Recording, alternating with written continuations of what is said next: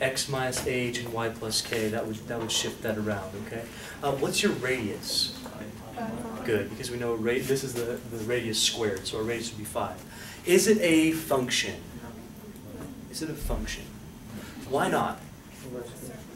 Well, yeah, I mean, visually, we know it's a circle, right? Yeah, that's circular reasoning, isn't it? Get it? Yeah, thanks. Where's my drums? Um, it's a circle, so it's not going to pass the vertical line test. That's one way we can define that. If we actually graph this, it's a center, zero, zero, radius of 5. It looks like this. It's certainly not going to pass that vertical line test. However, can you see it formulaically as well? Specifically, can you solve this for y and see that this is not a function? Let's try that. How would you solve this for y? What would you do first?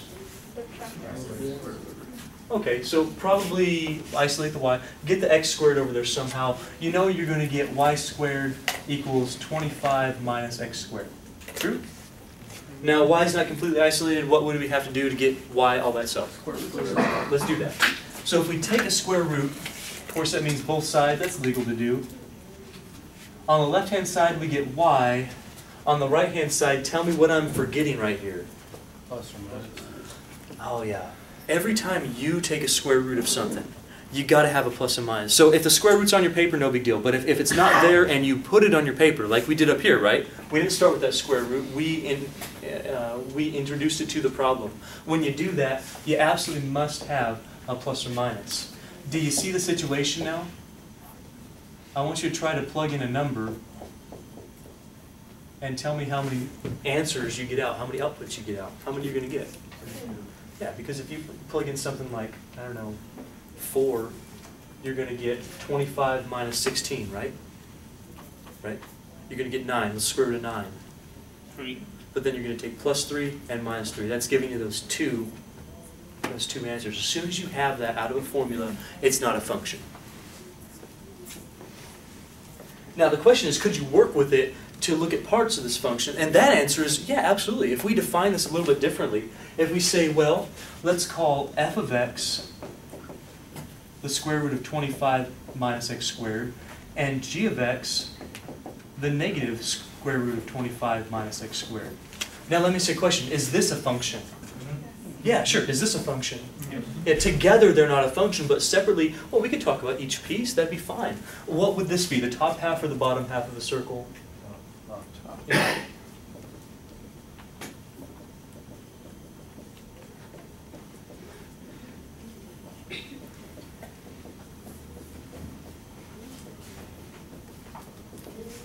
Top half, bottom half.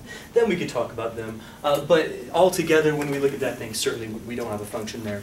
Uh, the other types of functions we need to talk about, one of them is called piecewise functions. Before we go on to that, are there any questions on vertical line test or what we're doing over here, kind of just showing that all formulas aren't functions. I mean, we don't, we don't have that necessity. And when we solve them, though, we can talk about pieces of them as functions. Are you guys all with me on this so far?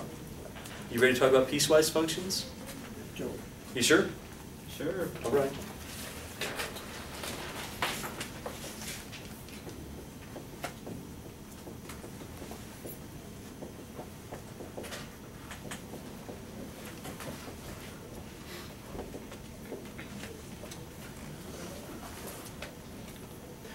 Here's what a piecewise function basically, have you guys seen a piecewise function before? Yeah. Okay, I, I know you have. You- You're supposed to have seen it, to be in this class, you've seen it before. Uh, one very basic piecewise function we're gonna deal with for just a second. Uh, the, the idea is though, with piecewise in general, that the formula depends on the value of x. So the formula for the function depends on what value you're trying to plug in. So piecewise functions work where the function changes depending on the value of x, your input.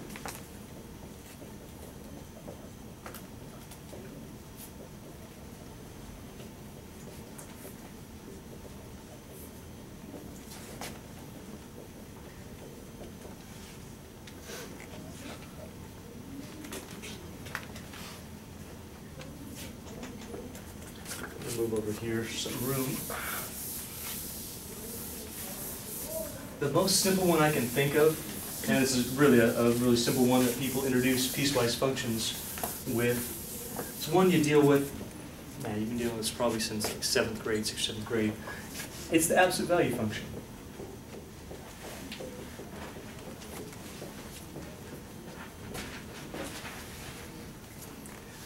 What's the, the symbol for absolute value? What do you do with that?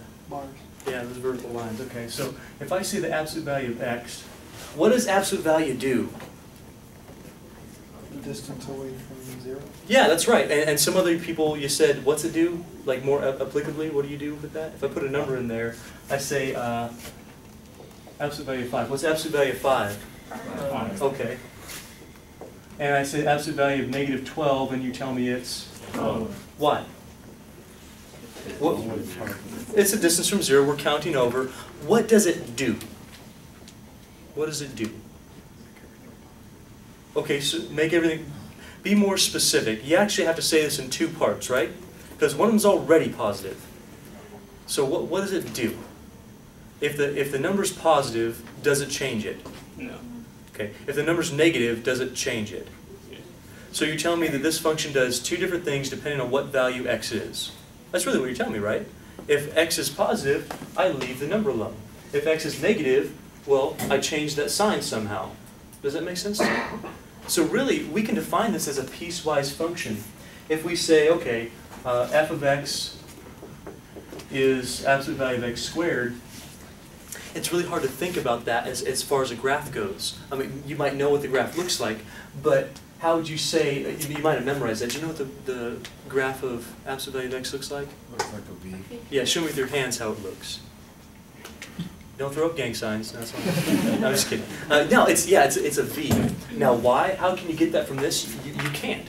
You have to either plug in numbers and figure it out, or you have to define it piecewise. Here's how a piecewise definition looks. Has that funny bracket that says all this stuff goes together, and then we have to define it on a piece by piece basis. Here's what the absolute value does. It says you're going to do something if x is less than, or, sorry, greater than or equal to zero.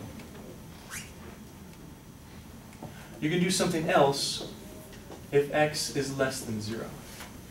Some people define it as strictly greater than, strictly less than, and then when x equals zero itself, we're going to define it like this. What do you do if x is bigger than zero? Do you have to change it at all? Now, like this 5, right? You didn't have to change the 5, you just pretty much dropped the absolute value. So we leave the x alone if it's bigger than 0. What do you do if x is less than 0? Changes. You say what now? Negative X. Okay, so we change the sign, you said negative x, that's when we could change it, right? If I did this and said, how do I get from negative 12 to 12? What math did you do? Magic. I, I did, ma- I'm Harry Potter, so my, my wand, I did magic math. Negative's gone, right there. All right, all right, Voldemort, I'll show you who's boss. Too much? What this really says is you have to find some math way to change a sign. The only math way we have to change a sign is either multiply by a negative or divide by a negative. So absolute value of negative 12 really says, follow this formula, and says you take the negative of negative 12. Does that give you back positive 12? That's the piecewise definition right there. That's it. It works, it works for anything. You can follow these directions for your piecewise function. It will tell you which part to use. Now, of course, we know this one from a long time ago, but can you see that this is the definition of that?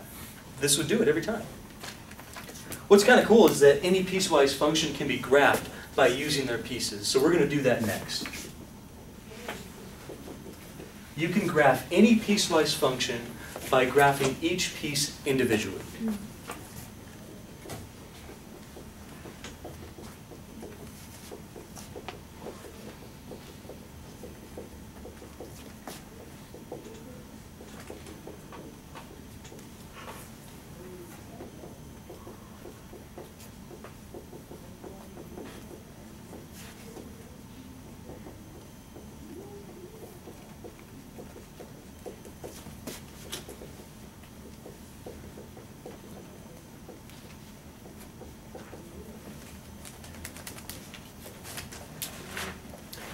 Thing you have to be concerned about is that you use the appropriate range. That's really it. So we're going to tack on just a little bit. You can graph each uh, you can graph piecewise functions by graphing each piece individually, but you, you have to do it for the given range. So we're not going to graph the whole line of f of x equals x, we're just going to do it for, for a little bit of it.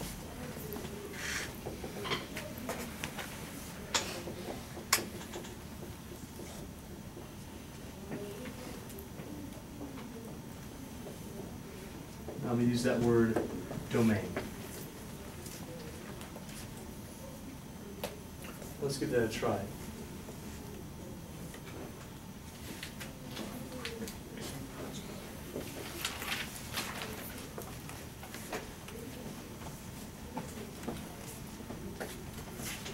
So here's what we do with graphing piecewise functions. I'll write this out a little bit for you when we get to a more advanced example. Uh, but for right now, basically what you do, you ignore one of these functions, one of these pieces, you graph this whole thing and you erase it for the parts that it doesn't actually exist. So right now I want you to think of the, the line f of x equals x. How does that look? What does f of x equals x look like? Diagonal. Sure, you can do it with slope uh, intercept form. What's the intercept? Zero. This is in mx plus b form, yes? Okay, the plus b, well, that's zero, so we know it's crossing at, at the origin. What's the slope of that? One. So it means it's going up one over one. So if I were to graph this whole thing, this right here is f of x equals x. Agreed? The problem is, is this right right now? The whole thing. Where does it actually exist? And the directions will tell you that. Where does it exist? To the right of the y or to the left of the y? Don't all speak at once. To the right of the y or left of the y? Come on, you gotta be participating here. Yeah, that's because we're looking for the x's that are positive. These x's are negative. It's saying it doesn't exist over here, so we'd erase that part. That doesn't even make sense. So right now we know this is the x, where x is bigger than zero, bigger than or equal to zero. That's why we have this closed circle there because of the equality that includes that little piece. Since we've graphed that piece already, let's go down to the next piece. Negative x just takes that, makes it slope the different way, same intercept. Since we know this already has the piece of a graph, we can't put anything else, otherwise it won't be a function. We're going to leave it just like that. That's where you get your, your v from. This is the f of x equals negative x. Are you ready to try something just a little bit more advanced? Can we do that? Okay. You guys have any questions on the absolute value? You've all seen that before, yes?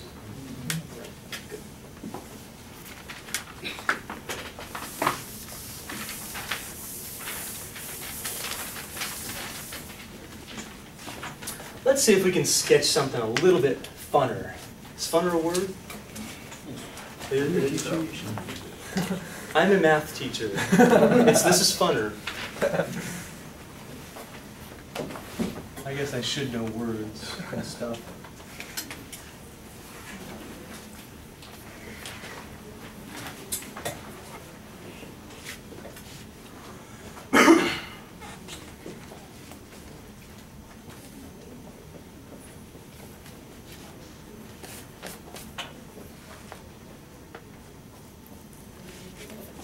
That's better.